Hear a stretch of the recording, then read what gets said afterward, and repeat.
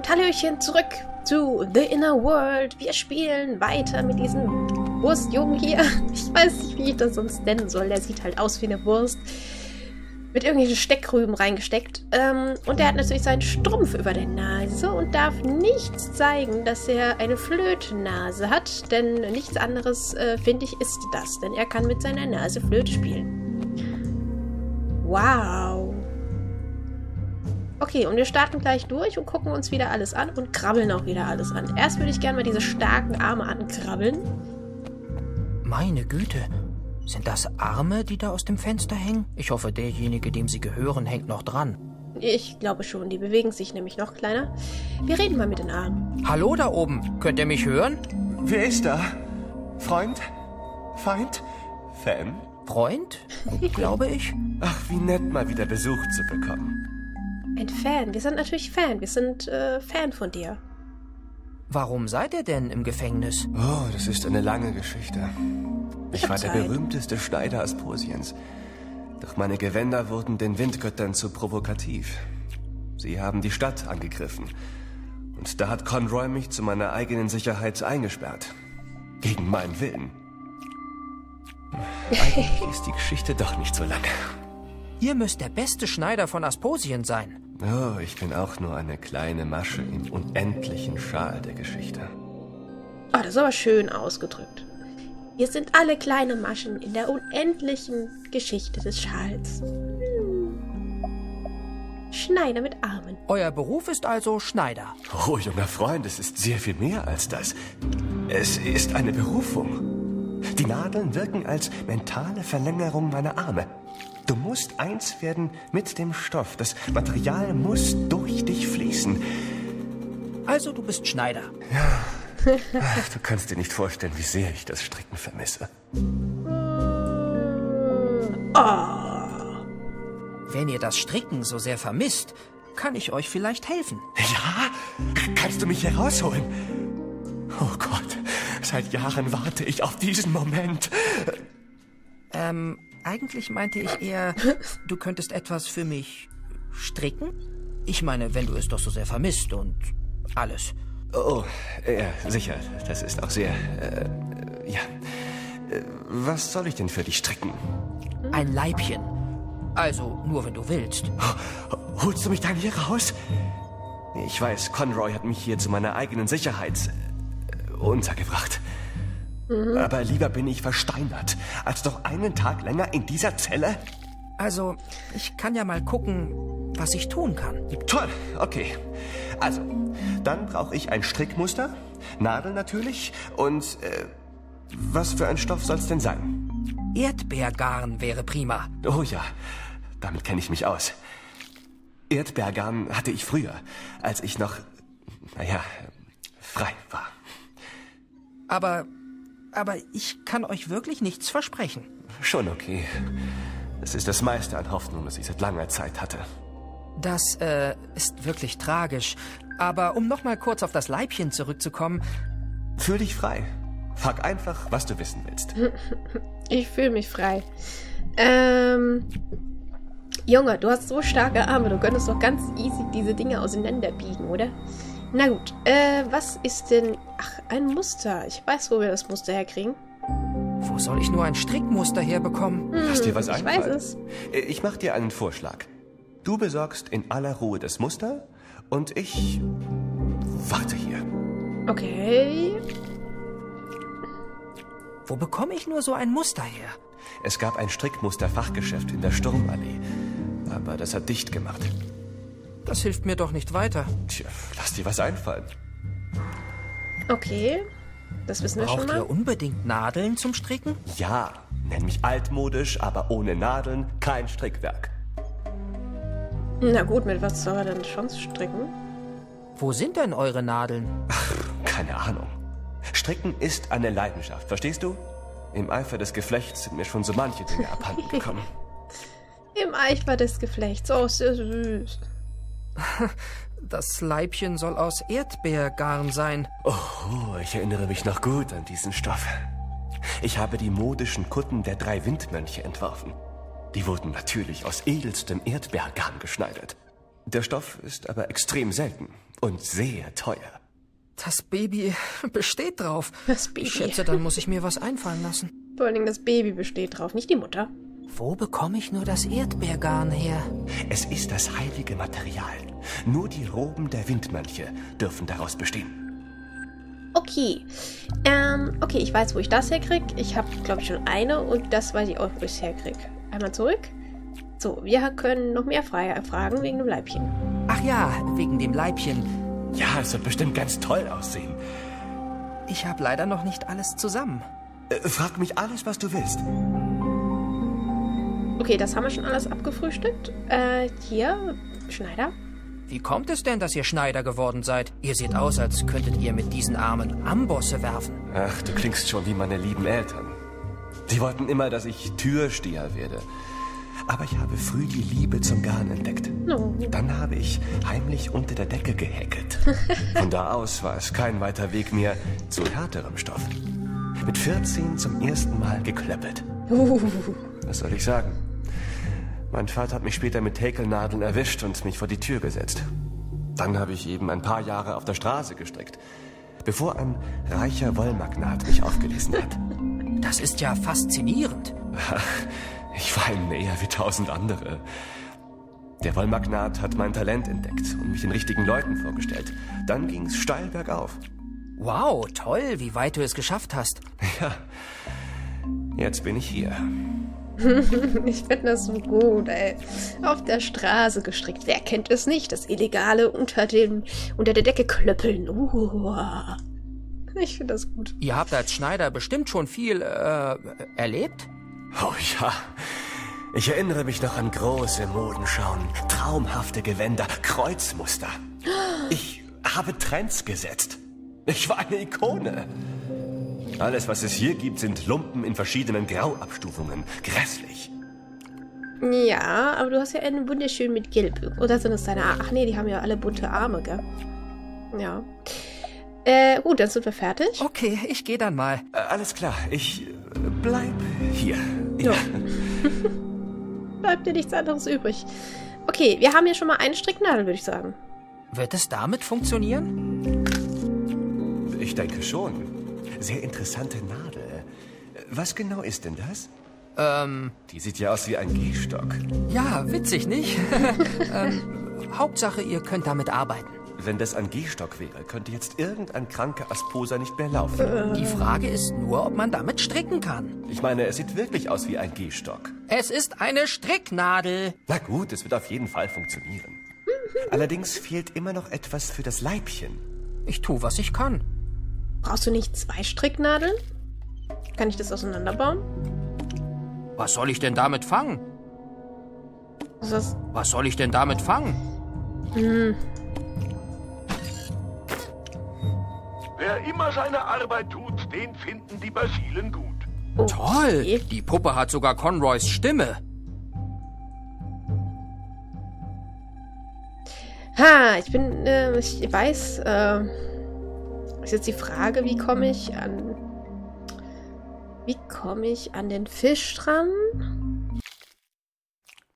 Huch. Wie komme ich an den Fisch dran und wie komme ich an die Karte dran von diesem komischen Jungen? Syndomat, alles klar. Gehen wir gleich hin. Wir gehen erstmal zur Wache. Hallo Wache. Hallo? Wache Nummer 822 meldet sich zum Dienst. Oh, ich bin's nur, Robert. Ich wollte euch nur etwas fragen. Ich hoffe, es ist wichtig. Ich habe hier nämlich zu frühstücken. Oh, ganz wichtig. Äh, ich frühstückte auch immer unter Aufsicht. Äh, nee, äh, Ausblick? Oh ja, wunderschöner Ausblick. Du hast ja einen tollen Ausblick hier. Ja, danke schön. An guten Tagen kann ich bis nach Oberasposien gucken. Äh, Manchmal überlege ich mir, was wäre, wenn dort auch eine Wache steht, die aber denkt, dass bei ihr unten ist, obwohl eigentlich bei mir unten ist und bei ihr oben. Darüber hast du sicher lange nachgedacht. Nee, ist mir gerade so eingefallen. Ha. Potzblitz.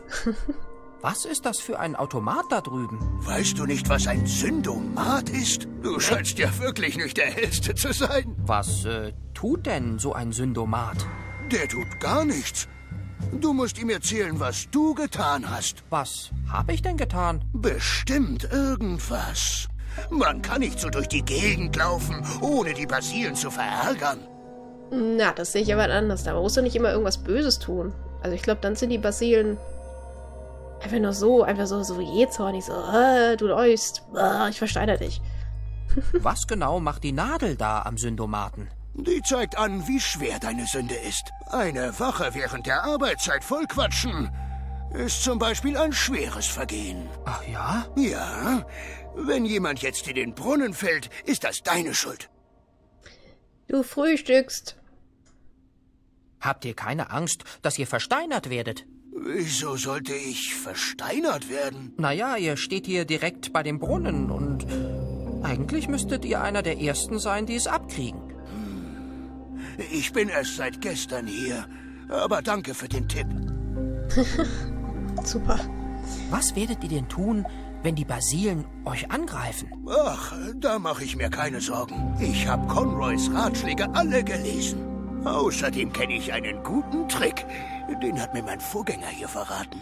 Was denn für ein Trick? Wenn ein Basil kommt, mache ich einfach die Augen zu. Brillant. Hm. Ja, wird wahrscheinlich klappen. Wenn man sich bedenkt, bei Harry Potter zum Beispiel beim Basilisken, ist es ja nur so, wenn du den anguckst, dann stirbst du direkt. Wenn du den durch einen Spiegel anguckst, dann wirst du versteinert.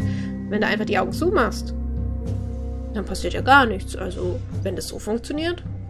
Außer natürlich, die, die blitzen dich an und du bist natürlich dann deswegen komplett versteinert, egal ob du hinguckst oder nicht. Also, äh, weiß ich ja nicht. Keine Ahnung. Weiß Conroy, dass du... Äh Conroy? Wo? Ist er hier? Äh, er ist nicht hier, oder? Äh, nein, nein, er ist nicht hier. Aber ich hätte da mal eine Frage. Ich bin offiziell nicht befugt, Fragen gestellt zu bekommen. Das heißt, ich darf dir nicht mal welche stellen? Aber wenn ich dich einfach frage und du reagierst, so wie eben, dann dann habe ich doch etwas gefragt, obwohl ich das nicht darf. Und das ist schon wieder eine Frage. Das ist vielleicht deine Meinung. Tja, du hast aber geantwortet, indirekt. Also hast du Angst vor Conroy. Hat Conroy dir befohlen, dass... Conroy? Wo? Aha. Du bist also eine offizielle Wache Conroys? Jawohl. Ausgebildet, um die Bürger Asposiens zu schützen. Und wie? Ich werfe sie ins Gefängnis, damit die Basilen sie nicht kriegen. Bitte was? Alles klar, bester Schutz. Was macht ihr hier? Ich halte Wache. Ach so? Was genau bewacht ihr denn? Was ich bewache? Was ist das denn für eine Frage? Ich bewache natürlich äh, äh, dieses Häuschen hier. Und äh, die Gefangenen da unten natürlich. Und? Und den Brunnen. Ich bin auch Brunnenwächter. Wovor bewacht ihr den Brunnen denn? Auftrag von Conroy höchstpersönlich. Ich muss den Brunnen bewachen. Ja, das habt ihr eben, äh, wovor? Pff, Ich bewache den Brunnen. Reinfallen ist übrigens verboten. Ist da schon mal jemand reingefallen? Kann ich mir nicht vorstellen. Du solltest es wissen. Du solltest dir nicht vorstellen. Du solltest es wissen, ob da schon mal jemand reingefallen ist. Aber okay, wir stellen dir die ganze Zeit Fragen und Fragen stellen ist ja verboten. Aber irgendwie antwortest du doch, oder? Also sitzt du hier den ganzen Tag? Nein, manchmal stehe ich auch da drüben. Herzlichen Glückwunsch. Juhu. Was tust du denn, wenn die Basilen aus dem Brunnen kommen? Dann äh, nehme ich das äh, offiziell zur Kenntnis. Oh Gott. Und dann? Was dann? Wie doof ist das denn? Ah, ähm. Gut, wir sind fertig. Einen schönen Tag noch. Jawohl. Mögen die Basilen dir wohlgesonnen sein. Danke, gleichfalls. Und da er doch so Schiss hat vor Conroy. Ich stelle mich mal nach da. Darf ich da hin?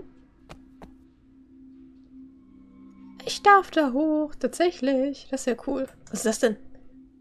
Zu groß, zu schwer, zu kantig.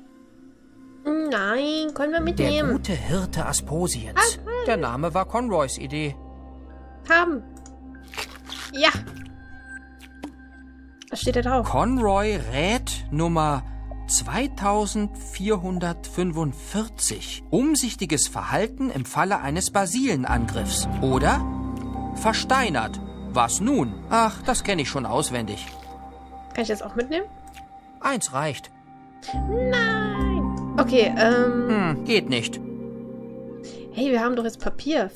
Fische kann man doch in Papier transportieren. Was ist das? Plakat? Brau Na, da, da, da, da. Kamerafahrt, hör auf zu fahren. Brauche ich nicht. Wenn ich wieder im Palast bin, kann ich ihn so um Rat fragen. Äh, habe ich da oben jetzt noch was verpasst? Ich weiß es nicht. Äh, nichts. Sag mal. Ein Phosphos. Ein Phosphos. Davon gibt es mittlerweile einfach viel zu wenige. Ja, guck mal hier. Eins, zwei, drei. Vier, fünf, sechs Phosphorses haben wir hier um den Brunnen. Der letzte aktive Windbrunnen von Asposien. Oh je. Boah, wie groß es eigentlich ist, ne? Wow, der Ausblick ist ja unglaublich. Ja. Man kann fast bis auf die andere Seite von Asposien gucken. Da wohnen wir wahrscheinlich eigentlich. Conroys Palast und mein Zuhause. Ich habe ihn wirklich noch nie von außen gesehen. Sieht ehrlich gesagt ziemlich abstoßend aus. Jo, hast du recht. Viel zu groß, ne? Der sieht nur so klein aus, weil er so weit weg ist. Den kann ich nicht mitnehmen. Klein? Ach so, Entschuldigung. Ich lasse es lieber in Ruhe. Es sieht so friedlich aus. Kann ich... Was soll ich denn damit fangen? Ein Phosphos. Nein, jetzt ist nicht die Zeit, um rumzualbern. Doch, es ist immer Zeit rumzualbern. Ein Windrad, schon wieder. Hm. Früher haben sie sich ständig gedreht. Das war ein hübscher Anblick. Was tropft denn da? Das brauche ich nicht. Okay, kann ich hier noch irgendwas ankrabbeln? Das habe ich alles schon gesehen. Okay, dann gehen wir mal runter. Ah, eine Lunchbox. Schöne Lunchbox. Passt bestimmt gut in meine Sammlung der Gegenstände, die ich irgendwann mal gebrauchen kann. Hast du da gerade Salat aus deinem Brot rausgemacht? Ich kann's versuchen, aber ich. Das ist meine Lunchbox. Ich weiß, ich wollte nur dein. Die darfst du nicht haben. Ja, ich hab nur den. Meine Lunchbox, nicht deine Lunchbox. Sehr gut. Schon gut. Tut mir leid. Mein Gott, ich wollte doch gar nichts Schlimmes tun. Ich wollte doch nur. Äh, bitteschön. Wer immer seine Arbeit tut, den finden die Basilen gut. Lunchbox. Steht zu Diensten, Abt Conroy. Kann man immer gebrauchen. Ich hab ne Lunchbox und du nicht. Wie soll das funktionieren? Kann ich den nochmal ärgern?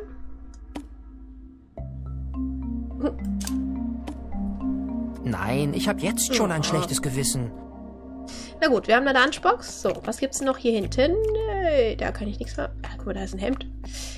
Da, da, da, da. Syndomat. Eine Anzeige. Gucken. Die Anzeige steht auf Null. Das bedeutet unschuldig wie ein Neugeborenes. Aber die Skala reicht auch bis 100. Oh je. Ich komme nicht ran. Ah. Ein Syndomat. Die praktische Lösung für Sünder mit wenig Zeit. Beichten und Bußen in weniger als einer Minute. Für Asp oder Aspirere oder Aspororo. Ähm. Idee. Könnte es sein, dass wir den Zeiger als zweite Nadel brauchen? Nenne deine Sünde. Nenne deine Sünde. Wache vollgequatscht. Ja! Ich habe die Wache vollgequatscht. Siehe die Schwere deiner Schuld. Das Urteil der Basilen lautet, iss eine Handvoll Staub und Büße. Bäh, das werde ich nicht tun. Was? Nein, nein, nein, nein, nein. Hm, mal überlegen. Ich glaube, ich habe andere Menschen mit allerlei Fragen genervt. Siehe die Schwere deiner Schuld. Das Urteil der Basilen lautet, gib dir selber eine Ohrfeige und Büße. Was? Was ist das für ein Spiel? Was? Nein. Was soll ich denn beichten? Nenne deine Sünde. Aber ich habe keine Sünde. Nenne deine Sünde. Du hörst mir gar nicht zu. Opfere den Basilen ein Minzbonbon. Bitte was? Ich will es haben. Hä? Ich schätze, ich gehe. Nenne deine Sünde. Nein, ich wollte wirklich nur... Ich will das Nenne Minzbonbon. deine Sünde. Ich gehe jetzt einfach. Nenne deine Sünde. Ich gehe jetzt einfach. Aber nimm das Minzbonbon mit. Wie viel Minzbonbons? Das Fach ist geschlossen. Ich kann es nicht öffnen. Warte mal. Können wir vielleicht. Nenne deine Sünde. Hä? Aber ich habe gar nichts gemacht. Opfere den Basilen ein Minzbonbon. Da ist noch eins. Ich habe einfach Dinge mitgenommen, ohne dass sie mir gehören. Siehe die Schwere deiner Schuld. Das Urteil der Basilen lautet, bezeichne dich selbst als unwürdigen Wurm und büße. Ach, das war auch immer Conroys Spitzname für mich. Ich bin ein unwürdiger Wurm. Ich bin ein unwürdiger Wurm. Ich muss immer zu allem einen Kommentar abgeben. Siehe die Schwere deiner Schuld. Das Urteil der Basilen lautet, kleb dir eine Woche lang den Mund zu und büße. Bitte Na was? fein, das mache ich aber lieber nächste Woche. Kann ich jetzt noch mal einen Minzbonbon haben? Aber ich habe gar nichts gemacht. Opfere den Basilen ein Minzbonbon. So, und tschüss. Ich schätze, ich gehe. Nenne deine Sünde. Nein, Nenne deine Sünde. ich gehe jetzt einfach. Nenne deine... Nervig. Und noch eins haben will. Ich brauche nicht noch eins. Doch. Oh, schade. Okay, ähm. Wer wollte denn ein Minzbonbon? Willst du ein Minzbonbon? Das war doch jetzt geraten, oder? Ja, es war geraten. Lass mich mal kurz überlegen. Wenn das so, vielleicht wie Cola, weißt du? So Lava. So, wieder offen. Ja, genau. Dann tun wir das da rein. Das könnte Spaß machen. Bringt aber nichts. Doch, bringt mir was. Oder wenn wir es da Das reinschütten. mache ich nicht. Na gut, dann halt nicht. Warte mal. Kann ich dem vielleicht das, äh, den Lavaströmer geben? Naja, dann könnte ich. Oder auch nicht. Na gut, dann nicht. Dann gehen wir wieder runter. Und was hier unten passiert, das sehen wir leider erst wieder in der nächsten Folge. Tschüss.